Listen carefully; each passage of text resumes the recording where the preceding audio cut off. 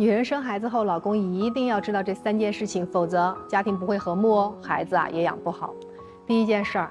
养孩子不是女人一个人的事情，男人们你们一定要明白，养孩子不是妈妈一个人的事儿，你一定要及时搭把手。比如孩子喝完奶了，主动去抱一下，拍一下孩子的奶嗝儿；孩子尿了，你要主动换一下尿不湿，不要把你的孩子丢给老婆一个人，或者丢给你的妈妈。带娃一定是全家的事情，孩子出现问题的时候，也一定是全家人的责任，不是说谁带孩子的时间长带不好了就是他一个人的问题。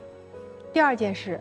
生育后啊，女人的心理更敏感，生过孩子的女人都深有体会，最难的就是产后第一年，因为不仅仅是身体上的累，更重要的是精神上的摧残。有些女人之所以会得产后抑郁症，一方面呢是内分泌紊乱造成的，另一方面真的就是她承受了比孕前更多的心理压力，而又没有家人的及时疏导。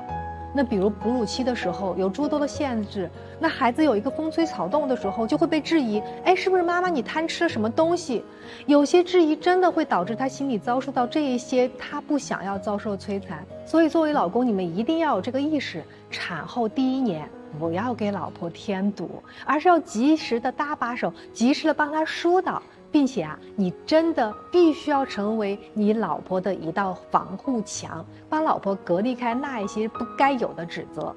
那第三件事，男人你要明白啊，生孩子对女人身体上真的有一些伤害，打引号啊。我前段时间我去刷我的留言的时候，我就经常会看到有些女人说，老公嫌自己生了孩子身材变差了。那生孩子，因为激素和运动量的减少，大部分女性真的在产后几年里，身体都会虚弱、会变胖，而且脸色也会大不如前，并且有一些呢，女性可能生完孩子过后，真的会有某些部分的松弛。那这个时候真的逼不得已，她们自己也想调整，但是真的没有办法。当然还有肚子上的妊娠纹，那些难看的西瓜纹，真的都是女人不想见到，但必须生完孩子过后就要承担的。